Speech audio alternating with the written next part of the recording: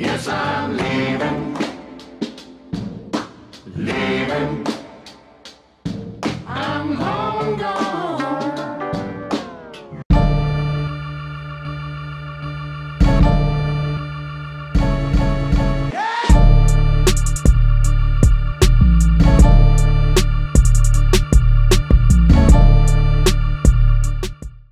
Hey, what's up, YouTube? I'm Zeke, and welcome to the Dream Green Show. Today starts the first day of week four of my AMD challenge where I trade just one company for an entire year. I'm gonna track their price movements in the stocks. I'm gonna check the good news, the bad news, and then we're gonna do market analysis over this company to see when we can buy low and sell high. My last video got 70 likes. Yo, I see you. 70 likes. I I like that. Let's see if we can get 70 likes again. I, I, I really appreciate that. Y'all hit that like button and man, we got up to 70 likes. Yeah, I, I really like that. I'm really smiling because I you, you guys like this series, so I'm gonna continue to do it. All right, so here we go. I have my Robinhood account pulled up. Remember, if you guys want to sign up for Robinhood, the link will be down in the description. You get a free stock just for signing up. All right, so here we go at AMD. I told you guys my plays for last week, what I was gonna do. If AMD dropped to a certain price point, I was gonna buy it. If you guys missed that video, go back out and check it. So what I did do, I didn't do a, a, put credit spread this week. What I did, I just bought three shares of AMD. Before I show you guys what I bought AMD at, the last week AMD dropped 2.81%. So you're probably wondering that I lost money since AMD did go down 2.81% uh, last week. But you'll be surprised because if you guys was following my plays, you would have paid attention to what I said and you would have actually made money this week. So let me show you guys how I made money even though AMD dropped the last week. So we scroll down, I'm gonna show you guys exactly what I did. I did a market buy of AMD. I bought three shares of AMD at 54.19.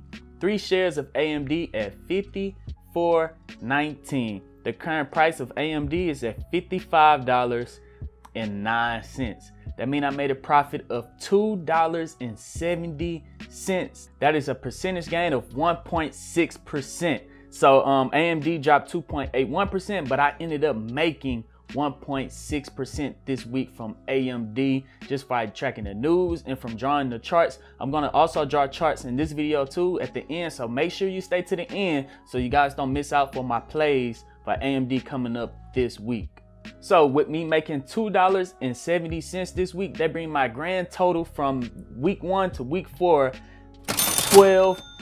So I profit $12 from AMD just from buying it low, selling it high, or doing put credit spreads on AMD. I am up $12 from AMD since the day I started, and this is week four. Let's hope I have a profitable month going into next week.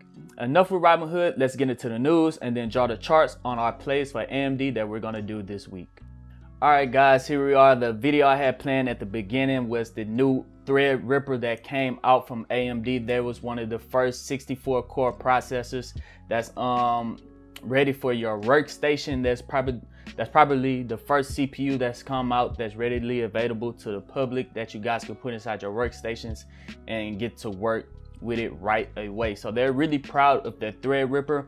Um, another good news article that I seen was that NVIDIA AMD, um, that's their 2020 summer video cards. If you buy a video card from AMD, they will come with a new game.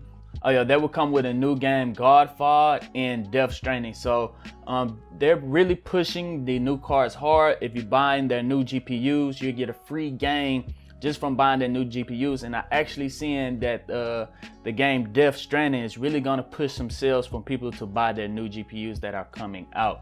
All right, so I need, and then I seen another good article on why did Google Cloud, their service, choose to use AMD EPYC server CPUs. Um, basically, the same thing that I was saying uh, earlier was that the AMD EPYC CPUs that came with 64 cores and 128 threads at 2.25 gigahertz. So basically, um, they have great CPUs that is readily available for these companies to use, and for AMD to work with a company like Google that can only boost their stock and their revenue because they're going to be selling a lot of their CPUs for cloud service to, to Google in the future. So these were a couple of good news articles that I seen for the week. I was trying to look for anything bad about AMD because because finding bad news about AMD would actually help me know if I need to sell AMD this upcoming week or do I just hold on to my three shares that I bought. But I'm going to explain exactly what I'm going to do with my three shares when we get into the market analysis part of this video. But I did not find any bad news. Well, nothing major. I didn't find any major bad news about AMD except for that it is probably overpriced right now. But let's go ahead and pull up the charts so we guys could draw our charts for the week and see what my plays are going to be for week four of this AMD 52 week trade challenge. All right, guys, and here we are. We are in Thinkorswim uh, with TD Ameritrade. AMD, I have AMD pulled up right here. This is the four hour, 180 day chart. All right, before we zoom in, I did draw these two lines a long time ago. Way back in week one, I said that it was gonna bounce right here. It did bounce, went all the way back to its high. And then I said it was gonna bounce right here again, and it did bounce off that line and come back to this high and sold off around where I said it was gonna sold off and let's zoom in a little bit. I said that AMD was gonna pull back all the way to this 180 day simple moving average line, which is the green moving line right here.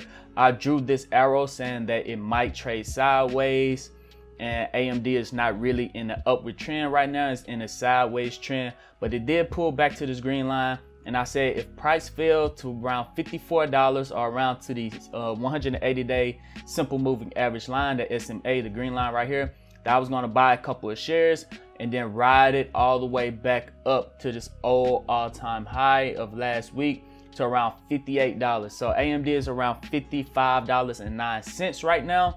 If it get up to $58, I'm going to sell those three shares and take my profit. I also said that AMD can get to the 180 day simple moving average and fall below all the way back down to its old support of $49.81. If AMD falls below $50, I'm probably gonna sell it, take my losses, and then wait for the next trade setup. But right now it's doing good. It is in the upward trend right here, moving on up. Hopefully sometime this week AMD can get up to $58 so I can make a good sell. If not, if it continues to trade sideways at a slowly moving pattern going up, I'm just gonna sell it because I want the explosive growth. I'm gonna get out and wait for the next trade setup. So some good things that I see inside of this chart. Um, it bounced off the 180 day simple moving average. It's trading above the 180 day simple moving average. It bounced off that line. And if we take a look at the MACD, it looked like it's going to cross Right here, going from the red to the green, that is a good indication that it might be in an upward trend for the next couple of days. And also AMD is not overbought and it's also not oversold. But if we draw a little line at the uh, on the RSI indicator, it is pointing up. So it might be in for a good uptrend with the uh, MACD about to cross and the RSI around in the middle and about to go up. If we zoom out just a little bit on the 180 day four hour chart, let's draw a line from that major dip right there to that major dip right there and draw this line out. All right, so we got another line added onto our graph right here. So AMD could trade sideways all the way until it meets up with this um, this trend line that we just drew, or it could bounce and use this trend line as its old support now. So we're going to keep an eye on this trend line right here. If it ever get close to it, it could be time for us to make another play on another major play on AMD. But that's all I have for the charts on AMD this week. There nothing major is really happening with AMD right now. It's just trading sideways. All right, guys, and we're back. That is my play for AMD this week. I'm just gonna hold on to my three shares. Hopefully get to around $58. If it do, I'm going to sell. If it's just trading sideways and going up slowly, I'm gonna sell, take some profit and that. But if you guys like this series, you, get, you did an amazing job hitting that thumbs up button on the last video. Make sure that you subscribe to this channel so you don't miss out on any future videos. And if you guys see some news out there, any good news or bad news that I have completely just missed, make sure that you leave that down in the comment section.